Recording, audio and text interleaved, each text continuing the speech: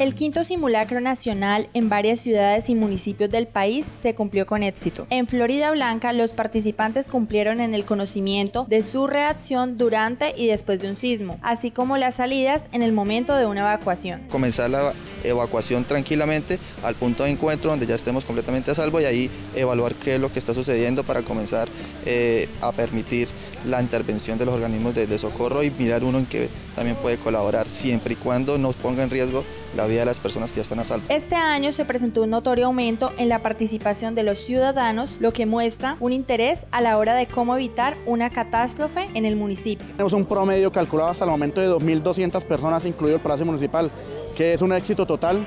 ya que el año pasado solamente participaron 220 personas, o sea, aumentamos más de un mil Estas actividades promueven la seguridad del municipio y la hacen menos vulnerable.